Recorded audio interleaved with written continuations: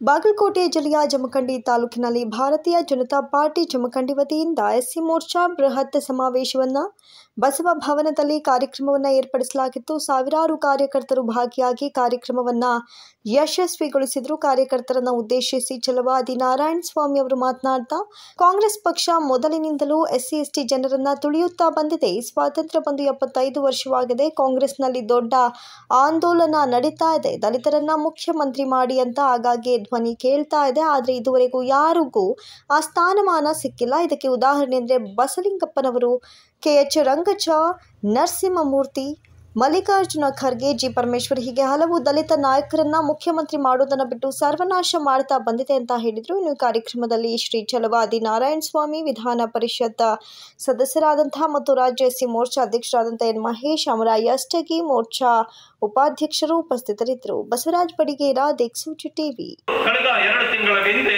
ತೀರ್ಮಾನ ತಗೊಂಡು ಇಪ್ಪತ್ತು ಲಕ್ಷ ಇನ್ನು ಮುಂದೆ ಕೊಡ್ತೇವೆ ಅಂತೇಳಿ ಘೋಷಣೆ ಮಾಡಿದ್ರು. ಯಾರು ಅಟ್ರಾಸಿಟಿ ಕೇಸಲ್ಲಿ ತೊಂದರೆ ಒಳಗಾಗ್ತಾರೋ ಅವರಿಗೆ ರಕ್ಷಣೆ ಕೊಡ್ತಕ್ಕಂಥದ್ದು, ಯಾರಾದರೂ ತೀರ್ಕೊಂಡ್ರೆ ಅವರಿಗೆ ಎಂಟು ಲಕ್ಷ ರೂಪಾಯಿಗಳ ಪರಿಹಾರ ಕೊಡ್ತಕ್ಕಂಥದ್ದು.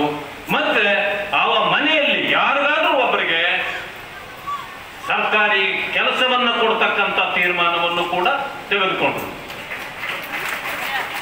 ಯಡಿಯೂರಪ್ಪನವರ ಕಾಲದಲ್ಲಿ ಯಾರಾದರೂ ನಮ್ಮ ವಿದ್ಯಾರ್ಥಿಗಳಿದ್ದಾರೆ ಇವತ್ತು? ಅವರು ವಿದ್ಯಾ ವಿದ್ಯೆಯನ್ನು ಮುಗಿಸಿ ಏನಾದರೂ ಬರ್ತಾರೆ, ಬಂದ ತಕ್ಷಣ ಅವರ ಕೆಲಸಕ್ಕೆ ಹೋಗ್ಬೇಕು ಅಂತಕ್ಕಂಥದ್ದು ಅವರ ಪದ್ಧತಿ ಅದಾಗಿರ್ತದೆ. ಆದರೆ ಎಷ್ಟೋ ಜನರಿಗೆ ಇವತ್ತು ಕೆಲಸ ಸಿಗೋದಿಲ್ಲ.